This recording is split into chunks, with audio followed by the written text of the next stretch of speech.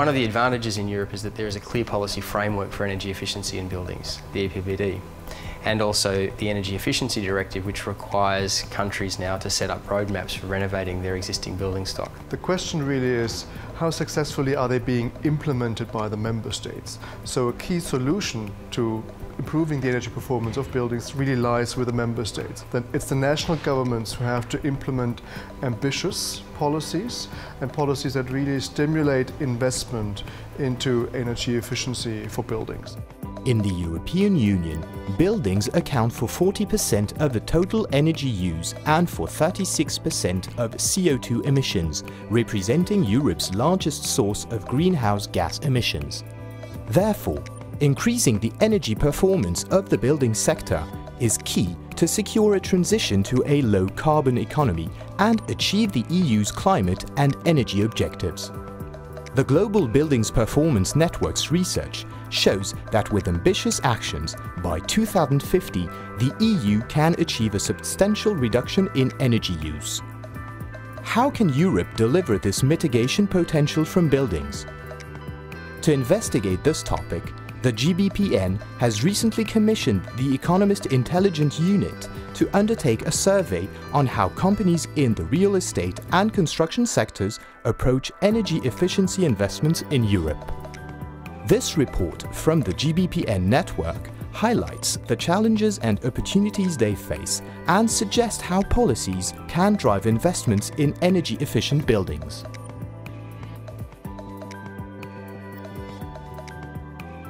We found from that survey that the industry is ready to invest in deep energy efficiency in the building sector. More than 84% are actually interested in investing in reducing greenhouse gases associated with their businesses and are already taking action to do so. The most exciting conclusion from that survey for me was that the real estate industry is starting to understand that the efficiency level of a building has a real impact on the value of the building.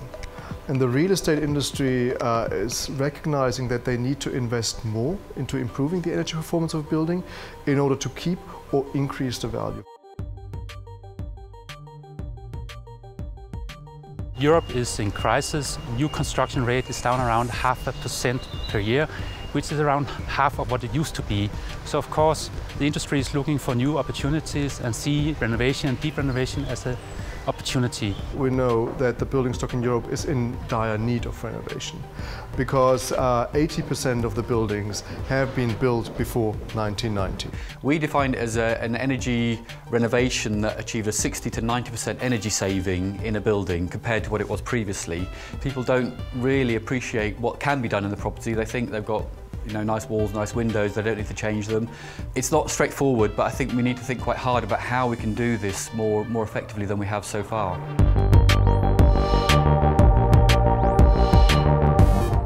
We are living in a world where the energy prices go up and down, and therefore we don't have any comfort in making long-term decisions in those areas. What we really need that is to have a long-term framework that is solid. Governments really provide incentives, not just through short-lived subsidy schemes, um, but also, for example, through tax incentives. Tax incentives work very well. We know that, for example, from, uh, from cars, where people pay higher taxes for highly polluting cars, they tend to switch to more efficient cars. So if you would, for example, have a regulation which combines the tax level for your property with the energy performance of the property, that could be one direct incentive for people to stimulate investments.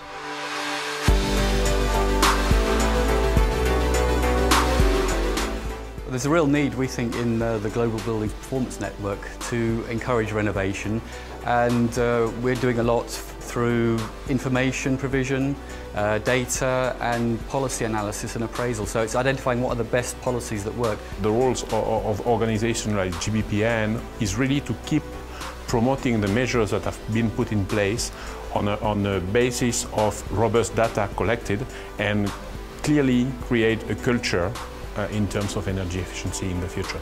the role of the Global Buildings Performance Net and BPIE as the European hub is really a crucial one because there is no other global uh, non-profit organization that is really committed to exchanging best practice in the field of energy performance of buildings, to work with policymakers and, and to facilitate and convene that exchange. And there is still a lot of need for proactive information exchange, very steered and targeted information exchange and, and bringing people and experts together. And the GBPN can play a, a, really crucial role in that by documenting all the good success stories which are happening and which can be found in Europe.